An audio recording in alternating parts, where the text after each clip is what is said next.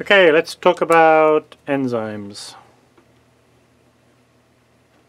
In particular, let's talk about the reaction where a substrate S is converted to a product P at a rate V. Now, we can plot the reaction rate against the substrate concentration and I'll get a curve that looks something like that. Now in this diagram I've shown the uh, concentration in square brackets. So you'll often see uh, in books something like this. You have, a, you have a compound X and they have a square bracket around them. That means concentration. Uh, I'm going to dispense with that because it just I think it just clutters things up a little bit. But bear in mind that uh, whenever you see uh, an X an S or a P or whatever in one of my equations it means a concentration okay? Alright so this is the curve we get if we were to plot the reaction velocity against S. The ex actual experiment here is where we we take some enzyme, we add a, speci uh, a specific amount of substrate, and then we immediately measure the reaction rate. We measure the reaction rate before too much S is consumed. And we do this again and again, but using different starting amounts of, or different starting concentrations of S. And when we do that, we get a curve that looks like this. So at, at zero concentration down here, of course, there's zero velocity. It rises linearly, then reaches a plateau, and this plateau is called the Vmax. Okay, so the reaction velocity doesn't exceed that maximum velocity. So what I want to do is I want to derive an equation that, des that describes this uh, curve. Um, let's begin then by writing out the enzyme mechanism that is used to describe enzyme catalysis.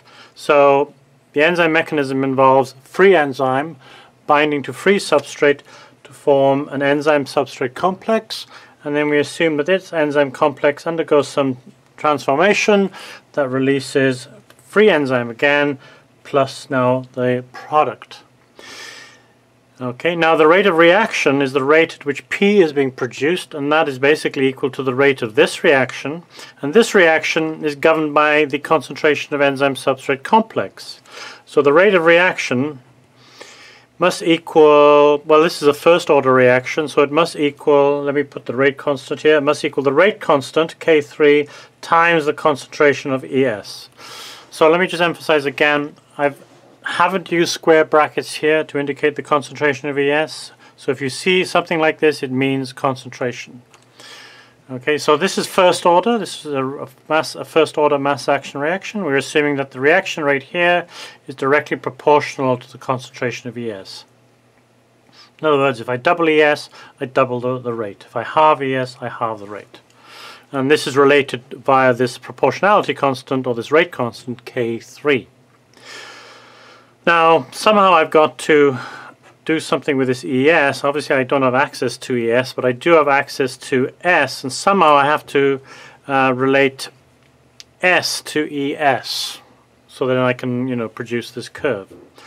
So I'm going to have to make some assumptions here uh, to get this moving. So one of the one of the simplest assumptions you can make is that when E binds to S to form ES, and ES breaks down, of course, to form E plus S, that this reaction is so rapid that it's pretty much always in equilibrium. Okay, so there's always an equilibrium. And so there's an equilibrium constant associated with this reaction, which we'll call Kd, or the dissociation constant, and that's related to the concentration of E times the concentration of S divided by the concentration of ES. So I'm going to assume that for, for this purpose that throughout the, the time of the reaction, this ratio always equals KD.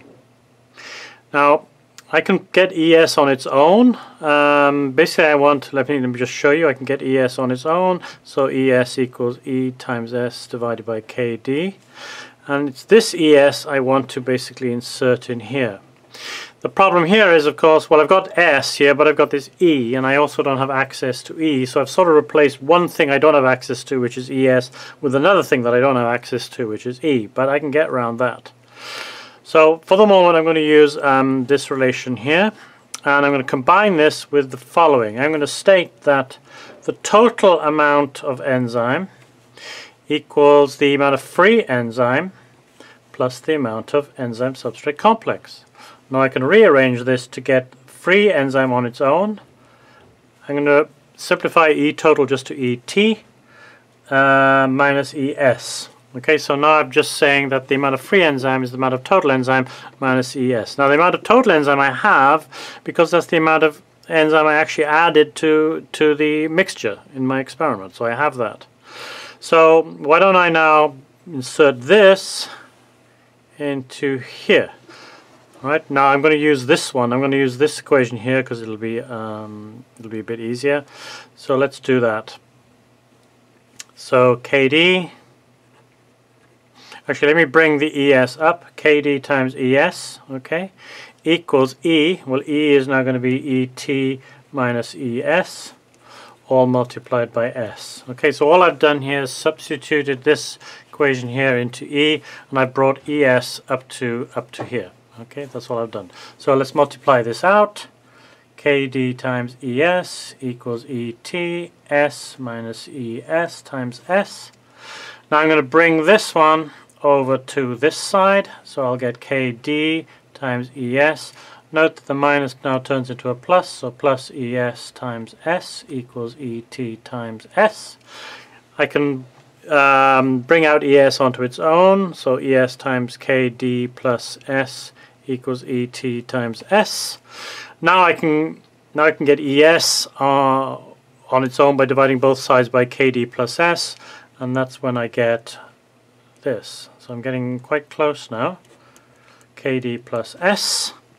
So what I'll do is I'll insert this into here. Alright, so when we do that, the velocity then equals K3, K3 times ES, which is ET, times S over KD plus S. And that's, uh, I'm almost there, so let's go to a new page and continue. Uh, so let me just write down what we just had. K3 times ET times S, KD plus S. Now this thing here, this term here, K3ET, I'm going to call Vmax, and that'll become clear in a minute. What I want to look at are the how this behaves. So let's um, draw V versus S. So what happens at low S? So let's consider low S. So uh, I'll call that Vmax um, S over KD plus S. At low S, okay, at low S, this S is so small that it, KD dominates the denominator. So I have basically a constant here times S. That's a first order reaction. In other words, the reaction velocity is directly proportional to V. So at low S, I'll get some kind of straight line. What happens at high S? So at high S, let's write this down again. So now at high S, when this is large, S dominates the denominator, so I can pretty much ignore the dissociation constant. If I do that, of course I can cancel the S's, and so at high S, V tends to V max. So V tends to V max, so it'll curve up and do that, and that's fine V max. Oops, my V max. Now this equation here, V equals V max, times S. You'll sometimes find, well in many cases actually, that people change the KD and call it Km. And they call it Km because this equation is actually called, after the people who derived, first derived it, the Michaelis Menten Menten equation. Okay, this is the equa this is the Michaelis Menten equation. And as I said, often you'll find people using the Km there instead, and this is often called the Michaelis constant. Okay, the Michaelis constant. Alright. Um, and of course then it's called the Michaelis-Menten equation. Okay, that finishes this video. Thank you.